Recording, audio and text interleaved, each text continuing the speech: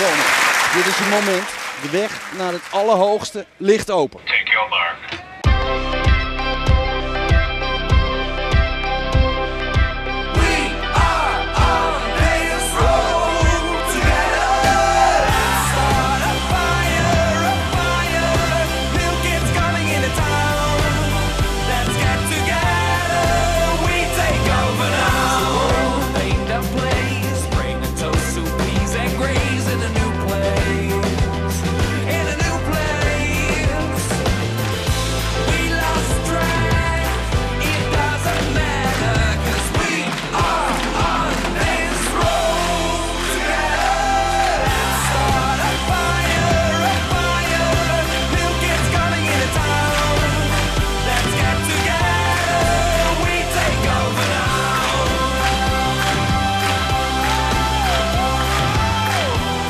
Daar komt.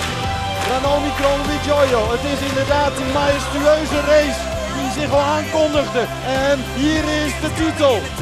Olympisch kampioen Ranomi Kromowidjojo.